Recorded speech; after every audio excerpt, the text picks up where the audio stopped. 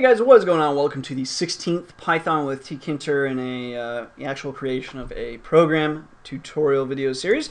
In this video, what we're going to be doing is actually adding the functions uh, that we're calling in some of our menu items. So that's add top indicator, middle indicator, and bottom indicator. So let's go ahead and get started. So to start, we'll do add top, man, Skype trolling. Add top indicator, and we'll just say what. And what is going to be like, what indicator are we adding?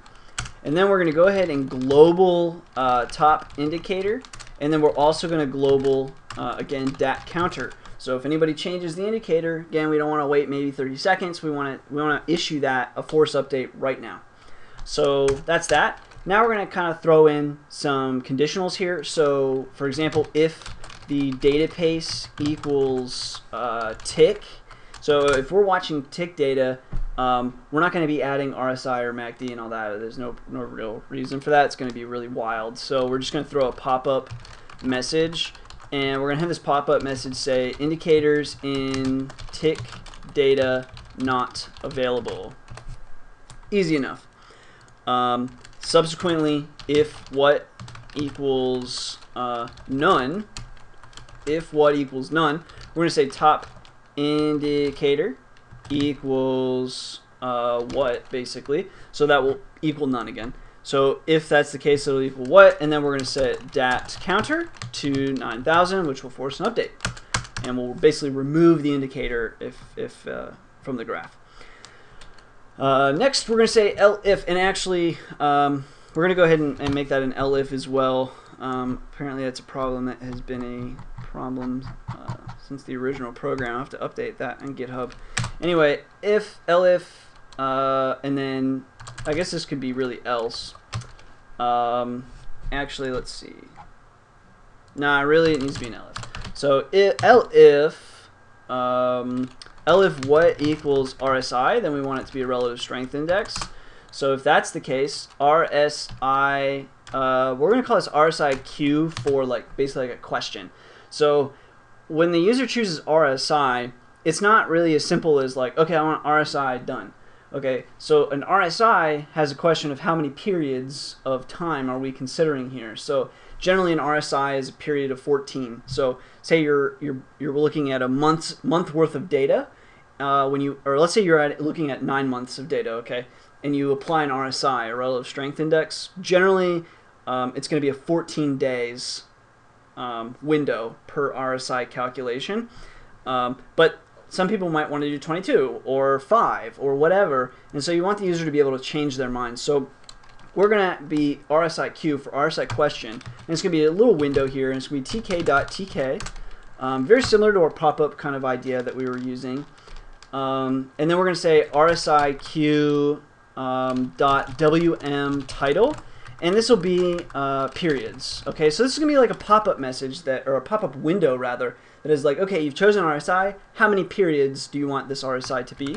So RSI uh, set the window title to periods, and then uh, we're gonna pose the question to our uh, user, and that will be uh, basically we're gonna make a label equals ttk dot uh, capital L label, and then where is this going? It's going to the RSIQ and then uh, the text uh, to our user will say um, choose how many periods you want each RSI calculation to consider. Um, and let's see. That'll, that'll do for now. We'll keep that.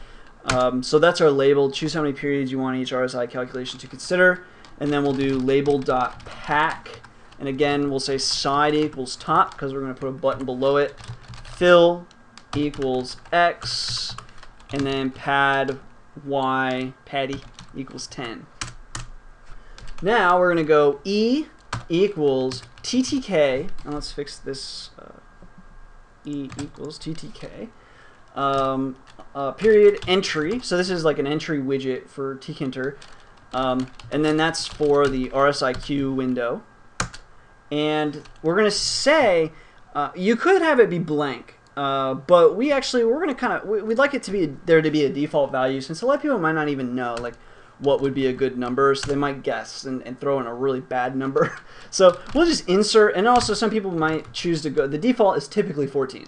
So some people might just want the default. So we're going to go ahead and insert at the zeroth uh, place 14. Just the number 14 will be inserted. And then we'll say e.pack, easy enough. And then we're going to set the focus, focus set on the, basically what is filled in to, uh, into here. So now, um, now we're going to do, um, yeah, define callback, and then we're going to global top indicator, and then global dat counter as usual. Uh, now we're going to use a get operation here for so periods periods equals e dot get. So it's going to get what was put in to the focused e dot insert basically, which is an entry widget. So it's going to get whatever was typed in there. And then we're going to say group equals an empty list for now. And now we're going to say group dot append. And to that, we're going to append RSI because that's what the user chose. And then we're also going to do group dot append uh, periods. And then uh, we're going to say the top indicator equals group now. So that's going to be RSI comma 14 will be what is stored under top indicator. Now we're going to set dat counter to 9000 to force an update. And then we're going to say, we're going to go ahead and print to console um, set top indicator to, and then comma group, like that. And finally, once we've done that, we don't need our window anymore, so we're just going to do rsiq.destroy. So as soon as they basically enter something, it's going to run this callback, as you'll see in just a second. Um, and then as soon as everything's done, it's just going to destroy the window. So actually hitting OK, really, it's going to run callback, but it's really just destroying the window at the end of the day, and it's resetting a value. So now we're going to go ahead and do B for button equals ttk dot capital B for button. Where's that button going? It's going to RSIQ. What is the text on that button? It will be submit.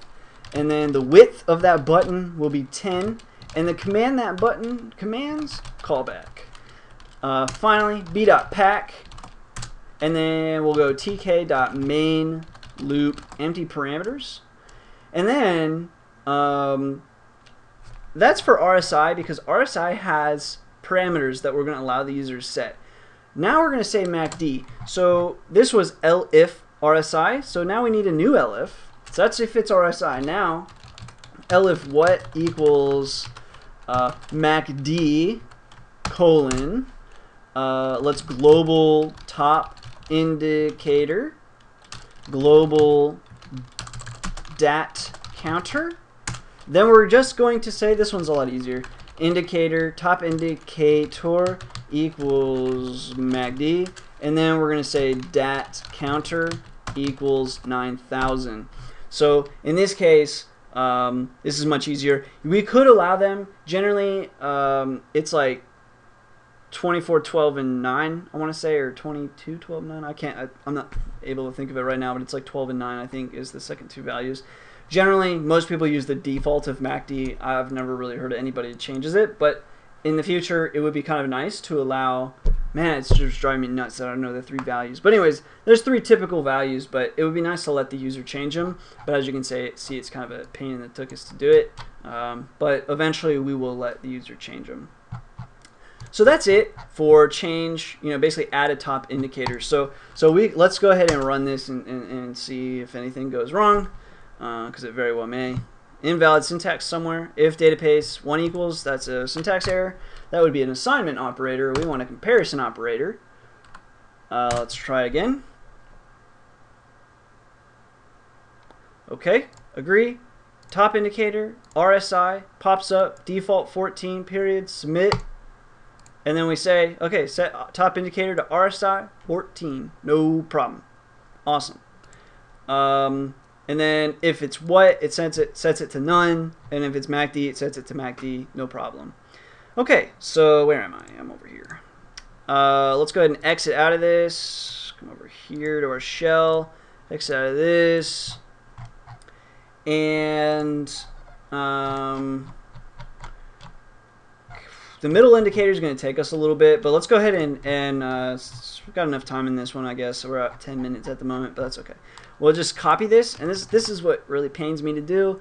Um, in the future, we will fix this, I promise. Hopefully this isn't bothering everyone as much as it bothers me, but copy that entire function, paste, and we're going to come up here, instead of add top indicator, add bottom indicator, global, uh, not top indicator, global bottom indicator, uh, that's that, that, that. And actually, let's go ahead. Is it? I can't remember if I capitalized or lower. Yeah, I did lowercase it actually. So copy that. Come back down here to bottom indicator. That's bottom indicator there. So global bottom with a lowercase b. I capitalized it.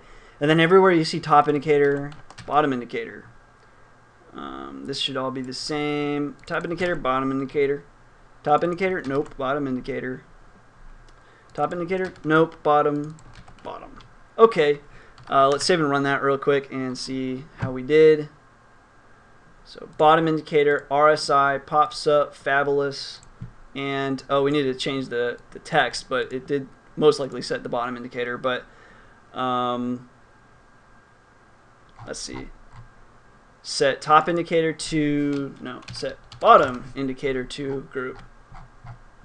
Okay, save that and we're good. And now what we need to do is we need to do the middle indicator. And I think I'll save that for the next video because this one's a little bit longer and it's not as simple as this was. So anyways, again, sorry for the copy and paste of that function. We'll, we will fix that. Feel free to, some people say I should give more challenges in the video. So challenge, combine these two functions. And instead, it should just be add, you know, indicator. And then really, we should, we should combine all of the indicators and then you know you've got what and then comma where you know. You should have something like that. Um, so maybe we'll do that in the future but till then challenge.